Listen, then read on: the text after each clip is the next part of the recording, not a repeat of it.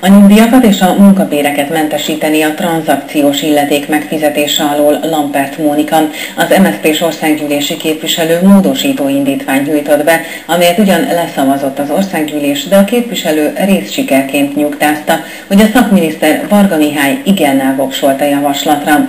A családokat a megemelt illeték mellett a gyorsvonati pótjegy is érzékenyen érinti, főleg a nyári időszakban, mondta Lampert Mónika.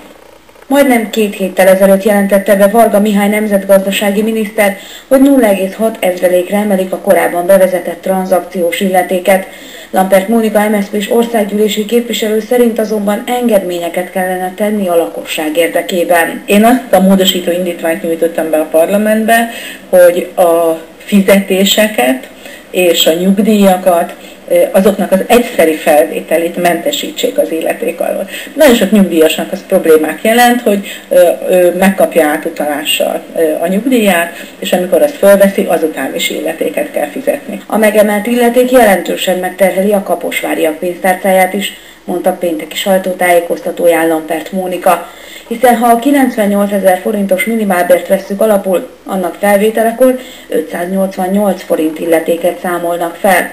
Az országgyűlés leszavazta a kaposvári szocialista politikus javaslatát, Budai Gyula államtitkár és Varga Mihály illetékes miniszter azonban igennel voksolt a baloldali képviselő felvetésére. Gelencsér Attila Fideszes országgyűlési képviselő szerkesztőségünkhöz eljuttatott közleményében úgy reagált Lampert Mónika sajtótájékoztatójára, hogy a magasabb illeték bevezetésének éppen az volt az oka, hogy hazán kikerüljön a túlzott deficit eljárás alól, ahova kilenc éve a szocialisták miatt került, idézem, a gyurcsány bajnai kormányok, melynek Lambert Mónika is a minisztere volt, akkor szó nélkül teljesítették a megszorításokat, csökkentették a fizetéseket és a nyugdíjakat.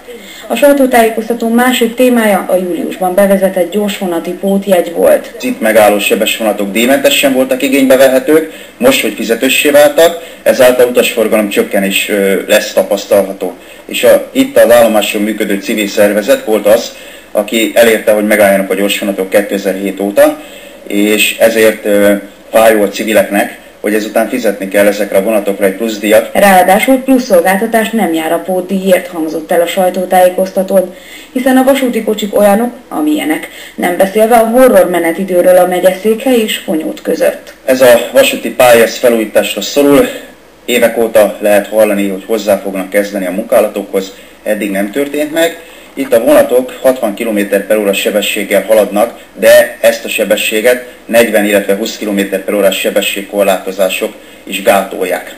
Valamikor 80 km per órával mentek itt a vonatok, valamikor 45 perc alatt fel lehetett érni Kaposvártól Fonyódig a gyorsvonattal, most egy óránál is több kell ez. Az érintett szakasz építése 1969-ben fejeződött be, mondta a vasúti aktivista.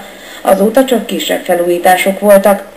Ezért is érthetetlen a pótjegy, tette hozzá az Egyesületi elnök, hiszen még az elvárható menetidőt sem kapják meg az utasok, nemhogy plusz szolgáltatásokat.